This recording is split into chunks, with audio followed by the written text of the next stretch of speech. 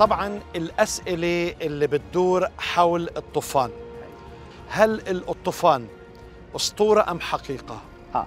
طبعا الكتاب المقدس بيؤكد إنه حقيقة لأنه الحقيقة تعتمد على إن يبقى في أزمنة ليها فبيقول في سنة 600 في حياة نوح في الشهر الثاني في اليوم السابع عشر ده ما تلاقوش في الأسطورة ده تحديد دقيق جدا إنه المطره 40 يوم وبعدين انفجرت ينابيع الغمر العظيم وارتفعت المياه 150 يوم.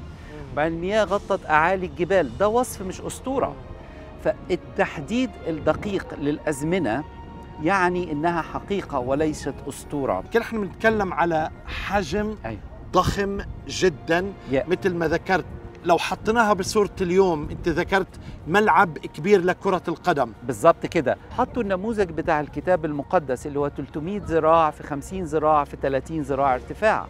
ملعب ونص لكرة القدم الأمريكاني ثلاث أدوار. نعم. يساع حوالي 560 عربية نقل مواشي ضخمة. طب هل الطوفان محلي يعني في المنطقة اللي كان عايش فيها آه نوح؟ ولا الطوفان عالميا؟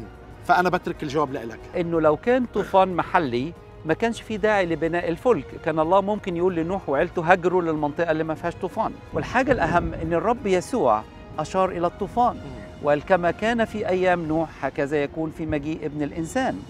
فالرب يسوع مش بيذكر صورة أسطورية علشان يوصل بيها حقيقة إن هو هيجي مرة تانية. طبعا الشيء الثالث اللي بيتساءلوه إنه الطوفان كان آه هادئ مش مش مدمر. آه.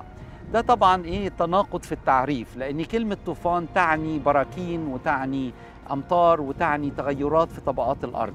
فكونه يبقى طوفان هادئ ما عملش أي تأثيرات في الحفريات وما عملش أي تأثيرات في الأرض ده شيء غير منطقي وغير علمي.